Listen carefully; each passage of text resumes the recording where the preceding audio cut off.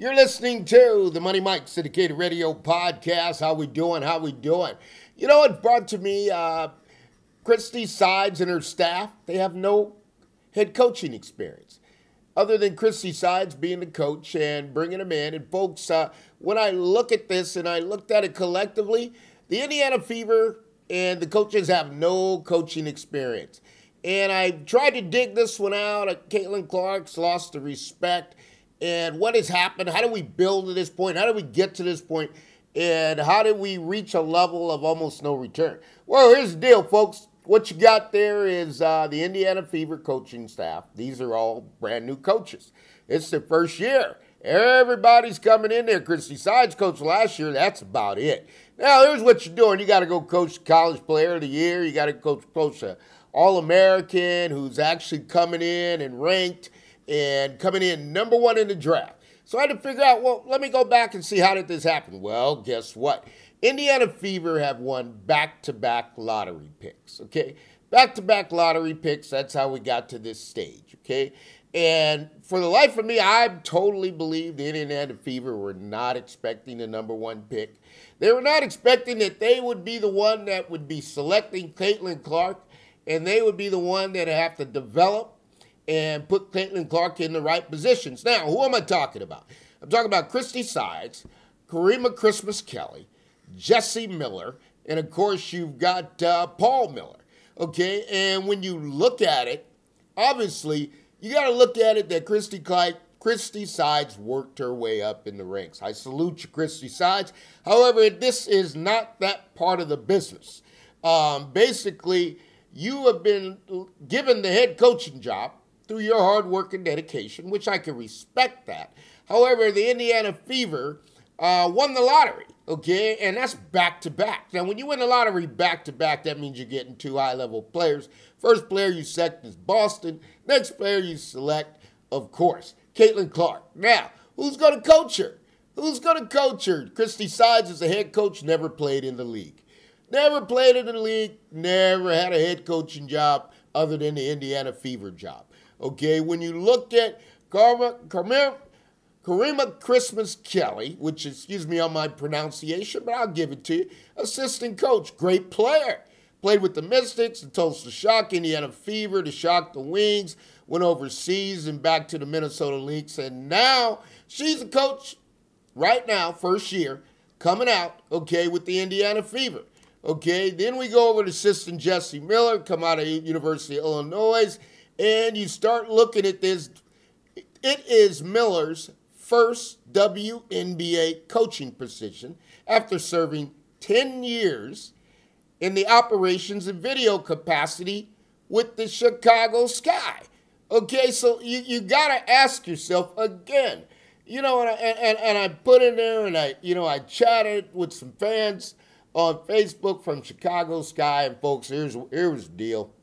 You got somebody trying to lead that don't know how to lead. You got somebody dealing with a player that potentially generational player came in here to actually lift this program up and man oh man, if you get to the breakdown of the film, it ain't pretty. And I mean, it is to the point where you're down to middle school where players don't know where they're going. So you get in here and then you say, okay, the Indiana Fever, I'm not there. I'm going to add Paul Miller. Okay, Paul Miller's going to be an assistant coach. Paul's been around the game. Okay, uh, played ball. However, Paul came out of the NBA G League. Okay, so you got nobody with professional coaching experience. Now, here's the deal. You hire somebody. Normally, folks, this is how it works. You get hired as a coach. You know what? You go get your two, three veteran assistant coaches, proven veterans assistant coaches to come and be in this league. Now, what happens when you got to do that? You got to pay them. Okay, you got to pay them. The price of the price of admission in basketball hasn't changed. I repeat, the price of admission in basketball hasn't changed. You get what you pay for. Okay, Indiana Fevers are paying Christie Sides. That's what you're getting, five hundred thousand a year. You want to step up to a million or two million dollars a year, you got a whole nother breed of coaches that you can get to. You got a whole nother breed of assistants you can get to, but they ain't coming in for minimum wage. That, that that's what you got.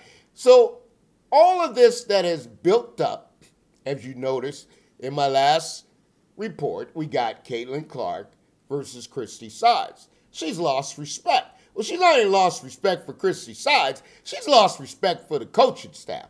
Now, be it as it may, because of public relations and her ability to be politically correct all the time, I got a feeling.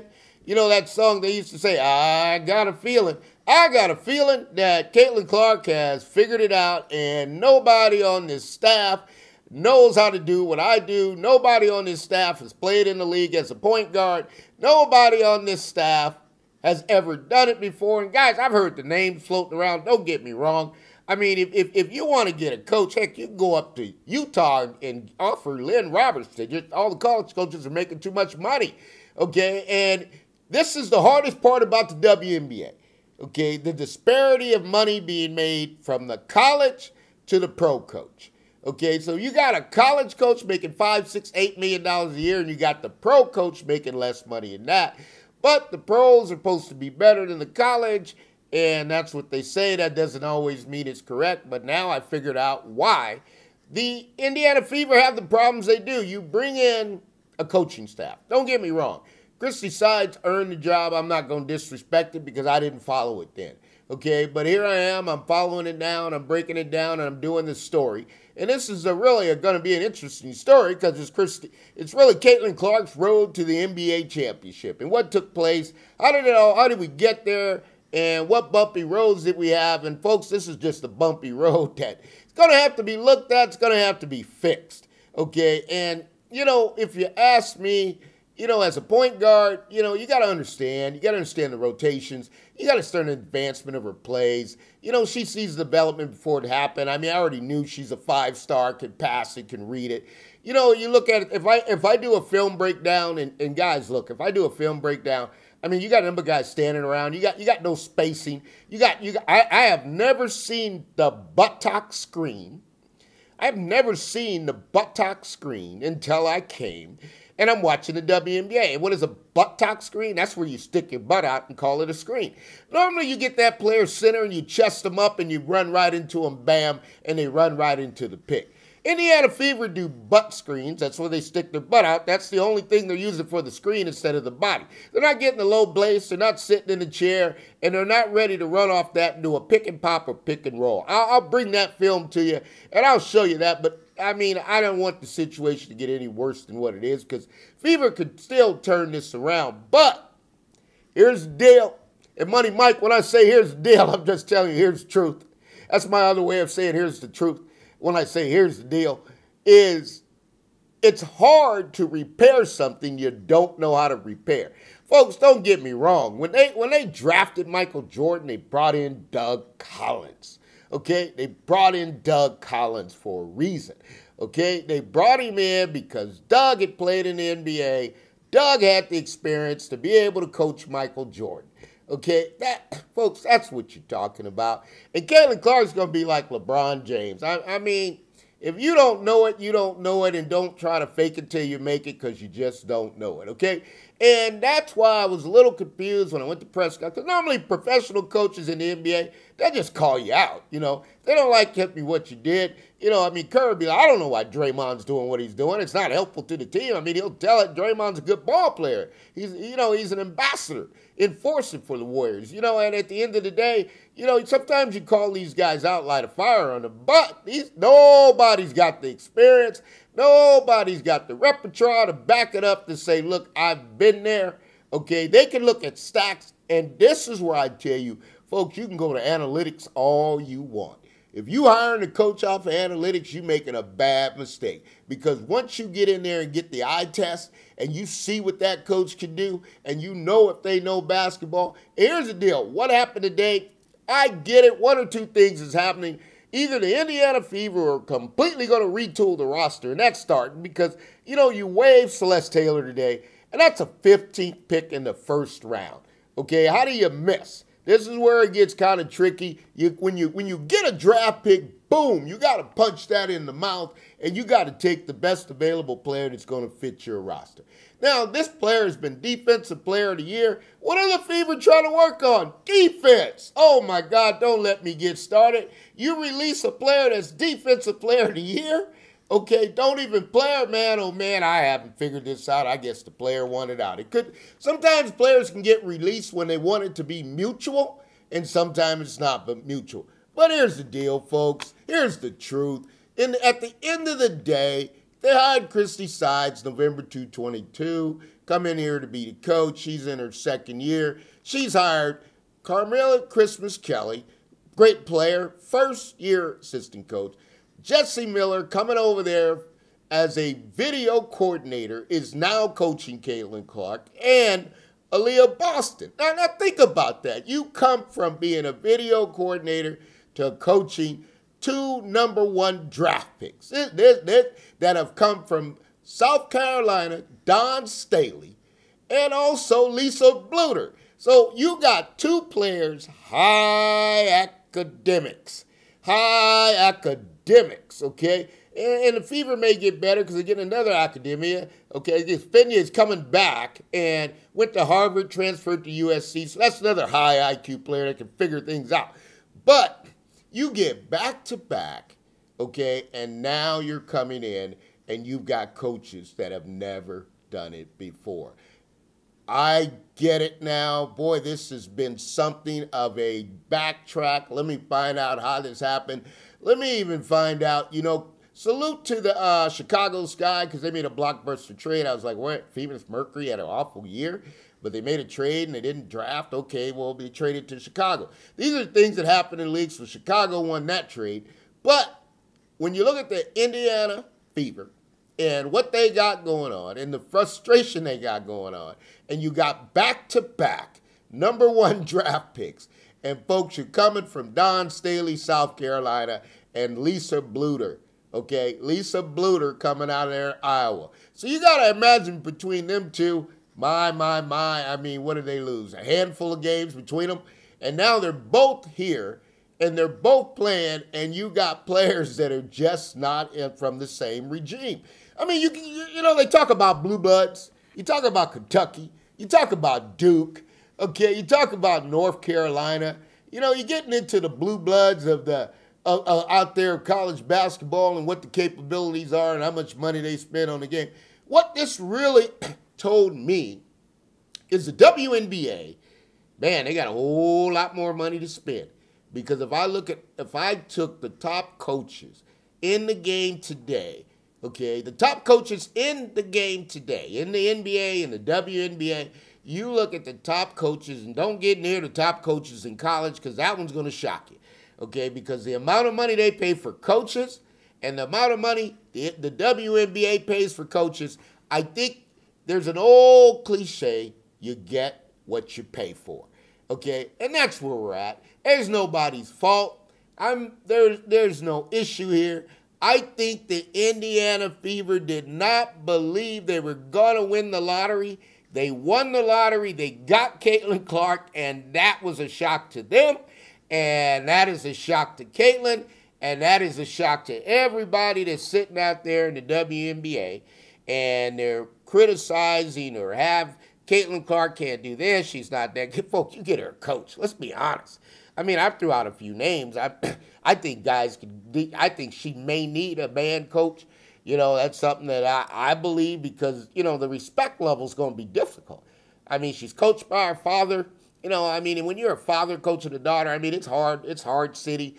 And you, you look at all the camps she's been to and everywhere she's been, you know, and the frustration that's coming out of her now is just because there's no one coaching. I can't put this together, but I think it'll get fixed. But the inexperience of the Indiana Fever has cost them dramatically. It's put them behind. It's kind of put a bump in the organization. I told you they're gonna re they're gonna retool this roster. There's no doubt about it. Half these players won't even be here. I can guarantee you that. I I, I can put all my experience of coaching, being in the game, being in the grassroots, and being in the development of getting guys getting to the NBA. These ain't the 144 best players in the world. I do not want the WNBA to speak that anymore because that is not the truth. There's better players sitting over there and over there overseas. You can get them here, but you got to pay for them. Okay, and they ain't gonna play for seventy-six thousand dollars. So you got the best players in the league in the WNBA today that will play for $76,000. It's not the best players in the world. You got the best players who are willing to play for $76,000. Now, everybody's not willing to do that, and I don't think Caitlin's going to be willing to do it either, because Caitlin Clark can go overseas and get 10 million a year. Okay, let's be honest. Go over to China, maybe get 15. If we got a league in Saudi Arabia, why don't we just give her 20 million a year? Because at the end of the day, it doesn't matter. You got to pay to play, and and and when you get to you you came in there and you got the Porsche last year. Okay, you got Boston. That's the Porsche. You come back this year, you get the Ferrari. Okay, and if you are not have a mechanic to run the the Porsche or the Ferrari, listen to me you are going to be last in the race. Okay? You cannot go out there and get a high priced, high running car that's NASCAR ready, that's ready to get out there like Dale Earnhardt and run it like it's never been run before, but you got no engine in the car. Man, Indiana Fever gonna fix this. This one here caught me by surprise. I wasn't aware of it, but when I dug into it, I finally figured it out. Indiana Fever folks have no coaching experience. It's the first year for everybody. So now you got the first year for Boston, second year for Boston, the first year for Caitlin Clark. I see why her hands are up in the air because she has to be thinking, what the heck is this? I just left a program that we had lots of coaching, and now I come here and there's no coaching. This is the Money Mike Syndicated Radio podcast. We are powered up by Fanatics. All things are possible to those who believe. And you stay tuned for more Indiana Fever news because we're going to bring it right to you. But the deal of the day is Christie Clark and the Indiana Fever, the entire coaching staff, has no coaching experience. Okay? That's the problem. Okay? And if you haven't coached in the league, and I'm not talking about the G League, if you haven't coached in the league in the NBA, or you haven't played in the NBA, or you haven't coached okay, in the WNBA and you're playing in the WNBA, that's going to be hard to go in there and talk to a player that hasn't done it. That's why Jason Kidd can get the respect, okay, coming out of the Dallas, okay, because he's played in the league. And guys have got to know that. This is the Money Mike Syndicated Radio podcast. We thank you, all our listeners. We love the support, and we always going to tell you, you keep going higher and higher because we're going to keep getting better and better. All things are possible to those who believe, and we will see you soon. This is the Money Mike Syndicated Radio Podcast.